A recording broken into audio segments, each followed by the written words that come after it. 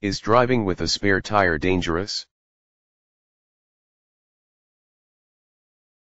A general rule of thumb is to drive no more than 70 miles and no faster than 50 miles per hour before replacing your donut with a new tire. The biggest reason to use these space savers for a short period of time is because they little to no tread. This makes the spare vulnerable to road hazards and projectiles.